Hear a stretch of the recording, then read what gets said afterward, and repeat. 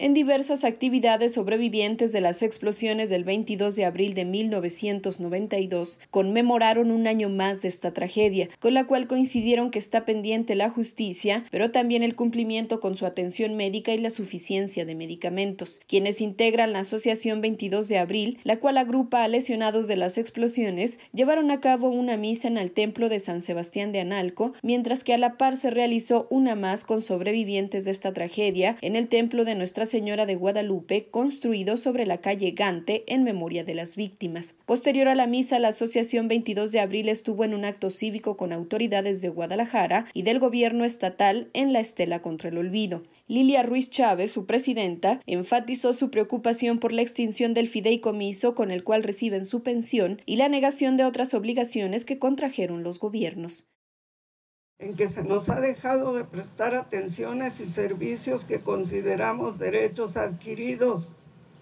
y se nos ha informado la pretensión de finiquitar esos derechos como pensión por incapacidad parcial o temporal o permanente. Algo que ya está sucediendo. El negarnos atención médica acorde a nuestros padecimientos, el no proporcionarnos medicamentos, aparatos ortopédicos, estudios médicos. Al concluir la misa en el templo de la calle Gante, Sonia Solórzano, sobreviviente del 22 de abril, así se expresó. Estamos pésimos, hoy es un día triste y alegre a la vez, triste por la gente que quedó en el camino, que para nosotros lo que nos duele es que murió esperando la luz de la justicia y la verdad el respeto. El año pasado, tres compañeros ya no están en este momento con nosotros. En esta administración han muerto más compañeros que en ninguna administración. Eh, sí, por negligencia médica, por falta de atención y por falta de medicamento, lo digo, sí.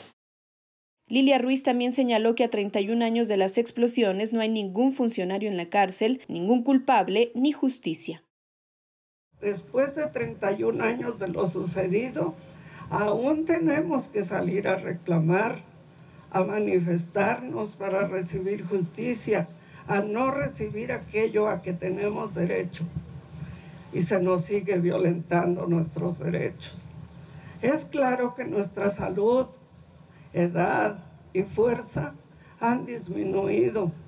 Por tanto, urge consolidar que en lo definitivo se establezcan jurídicamente y de manera irrevocable que nuestros derechos ya adquiridos no sean violentados o estaremos vulnerables los integrantes de esta asociación hicieron hincapié a las autoridades que falta incluir en los apoyos a las familias o viudas de los lesionados, pues la pensión se les retira cuando mueren quedando en la indefensión, así como homologar estos apoyos, pues hay quienes reciben menos. Casi al concluir el acto y en presencia de autoridades, vecinos de Analco interrumpieron para confrontar a Lilia Ruiz, pues acusaron actos de corrupción por parte de la presidenta de esta asociación para beneficiar a unos cuantos con el dinero que reciben del fideicomiso. Además dijeron que no todas las víctimas están incluidas. Por un momento los vecinos tuvieron una confrontación verbal y después se dispersaron. El alcalde de Guadalajara, Pablo Lemus Navarro, defendió que hay total transparencia en el manejo del fideicomiso y que las críticas hacia Lilia Ruiz son infundadas. Como parte de otra actividad, el Observatorio Ciudadano por el Derecho Humano a la Verdad rindió su informe e insistió en la necesidad de crear una comisión de la verdad para incluir a víctimas del 22 de abril que no han sido reconocidas.